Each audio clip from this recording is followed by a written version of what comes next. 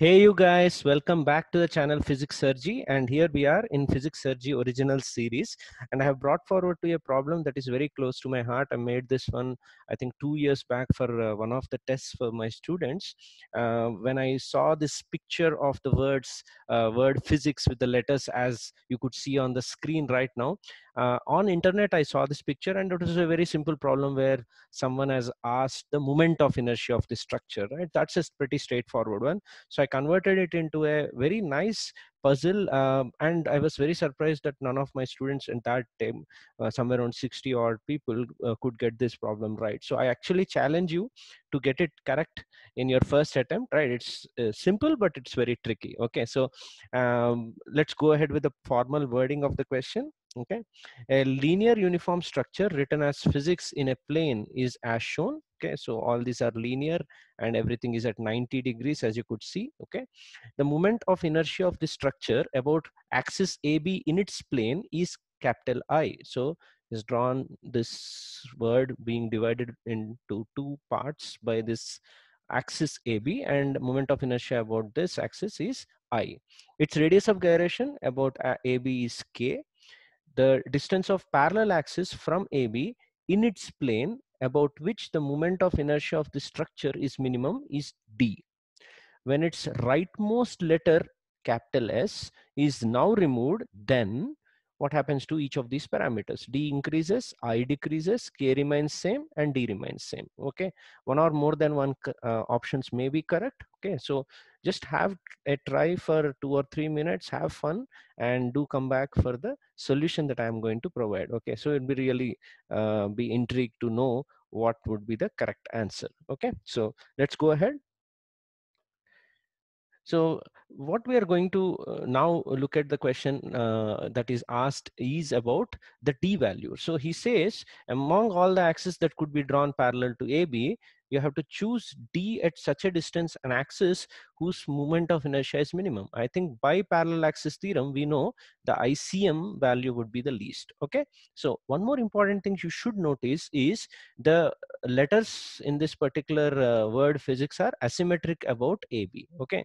So yeah, there are some symmetric words like S, I, C, and this S and this y yeah, i'm sorry h is symmetric but p and y are majorly asymmetric with more mass on the upper side of ab than the lower side so it would not be very hard for you to guess that the moment of inertia uh, sorry center of mass of this entire structure lies above that line AB. Okay, so if I take x and y axis like this with x axis coinciding with the side AB and then uh, y axis would be in this direction, then YCM, which should be equal to D according to the parallel axis theorem, should be greater than zero. Okay, so value of YCM is on the upper side is what I'm trying to convey. Now assume the mass of the words uh, letters physic up till this point F, uh, P, H, Y, S, I, C up till this part is let's say M1 and uh, the center of mass of only that part is let's say y1 ycm that i am talking about. Only y coordinate of center of mass is needed in this problem. And k1 is the radius of gyration about this ab axis. Let's say these are the things for the word physic okay?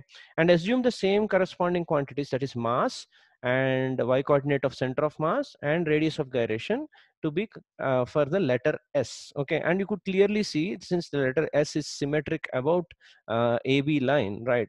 Uh, mass distribution is symmetric, not exactly symmetric. I know you would say C is a symmetric point, but uh, in this direction, whatever uh, contribution that Y coordinate for this has, the same contribution you will have on this side also. Okay, so you could clearly say that for that letter S, the YCM of that should be equal to zero. Okay, right? So YCM of physics word can I now consider it as uh, a combination of the physic and S? Okay so M1 Y1 plus M2 Y2 divided by M1 plus M2 but you realize that M uh, Y2 which is the center of mass of this uh, letter S should be zero. Therefore M1 Y1 by M1 plus M2 would result in YCM which should be less than M Y1 and you could clearly see that from here.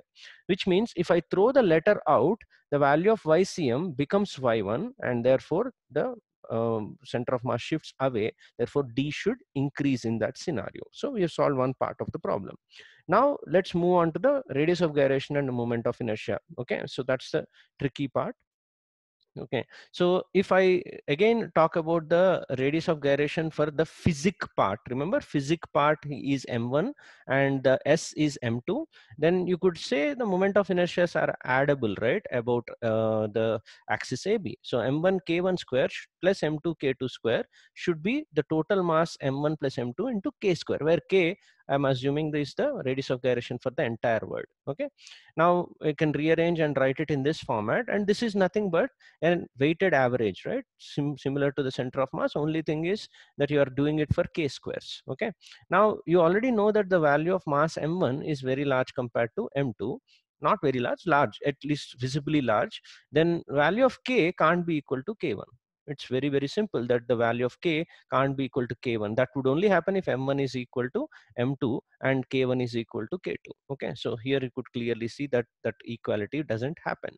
So if you throw this letter s even though it is symmetric right the radius of gyration doesn't remain the same uh, option c talks about it remaining the same so that definitely is not the correct answer i could have gone ahead and made the question even more tougher where i'm not just asking about the equality or inequality but I could have asked greater or lesser. Here's the bonus fact that I would like you to try and you can prove it. And it was asked in one of the previous JEE papers also, right, in a different manner.